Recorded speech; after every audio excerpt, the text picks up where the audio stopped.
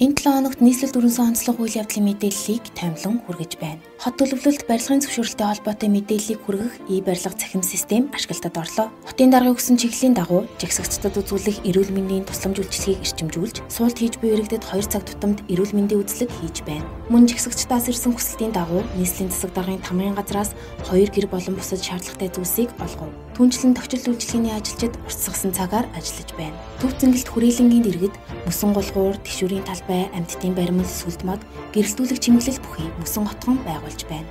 Улаанбаатар хотод 2023 оноос скутер түрээсийн үйлчилгээг нэвтрүүлэх хамтын ажиллагааны гэрээ байгуулав. 12 дугаар сарын 15-наас 16-нд орсон цаснаар нийт 35 тонн бодис, 134.8 тонн давс, 12 тонн хайрга цацаад байна.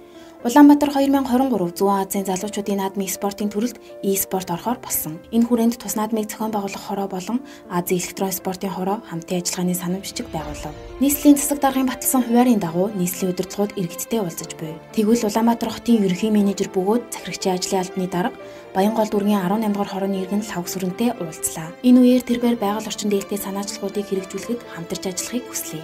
Монгол улсын нийслэл Улаанбаатар болон Япон улсын Саппоро хот хоорондын хамтын ажиллагааны хүрээнд нүүрс төрөгчийн ялгаралгүй хотын хөгжлийг дэмжих төслийн уулзалт болов. Улаанбаатар хот Европын сэргээн босгол хөгжлийн банкны ногоон хот хөтөлбөрийн хүрээнд төсөл хэрэгжүүлнэ.